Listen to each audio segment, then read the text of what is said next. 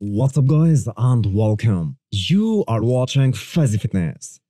Sergio Oliva Jr. is looking swole in his latest training video, which is a little surprising because he started prep roughly 3 weeks ago.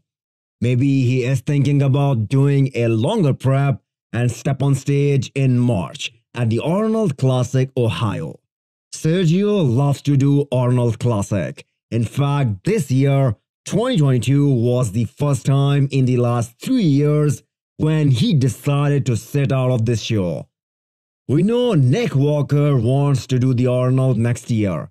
He has already announced it. Samson will consider doing it. So, it will be a very competitive show as always. The Sergio we saw in 2021 was far, far from his best. He himself admits that the Arnold Classic 2020 package, where he cracked top 5, was a better overall look. We will see how 2023 turns out for Sergio, because time is quickly running out.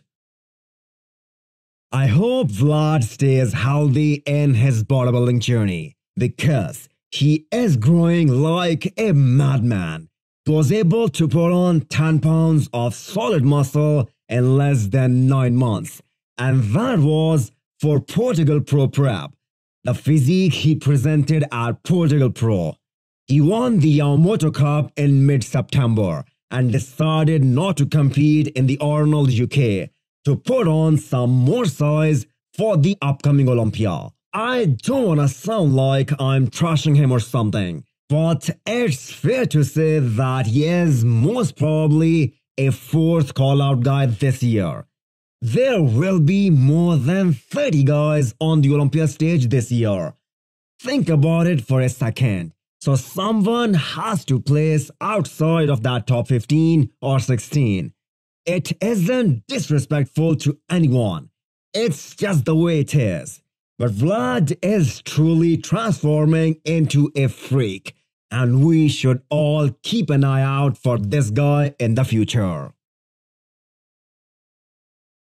Patrick Johnson earned the respect of the bodybuilding fans by showing up as a legit contender for the Arnold Classic UK title.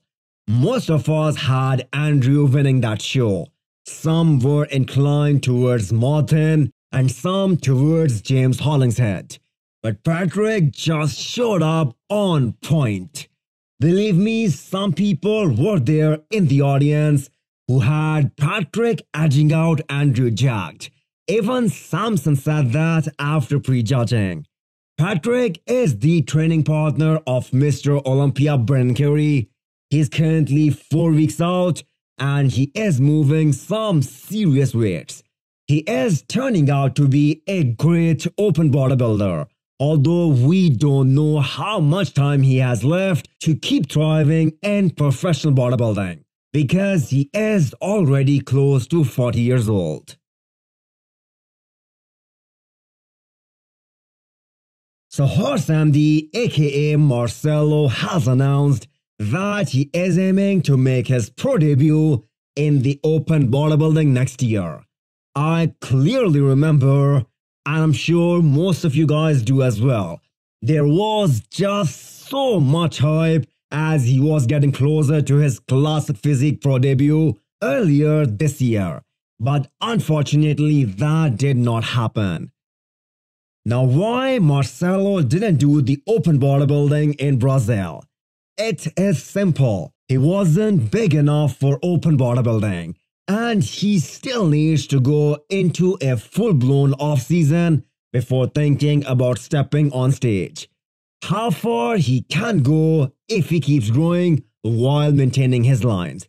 Well, we will have to wait and see.